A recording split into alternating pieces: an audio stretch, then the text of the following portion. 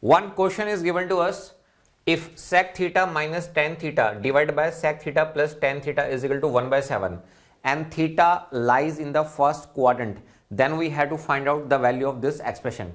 Now we have to use in this question componendo and dividendo. So can I write if I use the componendo and dividendo so this can be written as sec theta plus tan theta divided by sec theta minus tan theta is equal to 7. Fine.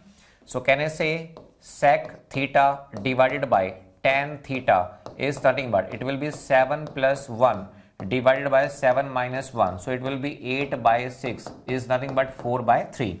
Now what it will become? It will become cosec theta is equal to 4 by 3. Now if you draw the right angle triangle, you know cosec theta is hypotenuse divided by perpendicular.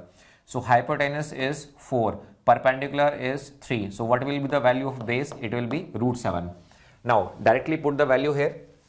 So you know very well cosec theta is nothing but hypotenuse divided by perpendicular. Hypotenuse is 4 divided by perpendicular is 3.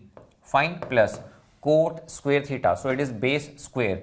So this is 7 divided by perpendicular square. So it will be 9 divided by. So can I say this is nothing but 4 by 3 minus 7 by 9. Now we have to solve this. So if I take the LCM in the numerator 9 so that it will become 4th is a 12 12 plus 7 and the denominator it will become 12 minus 7 divided by 9 9 and 9 cancel so this is comes out to be 19 divided by 5 this is the answer. Thank you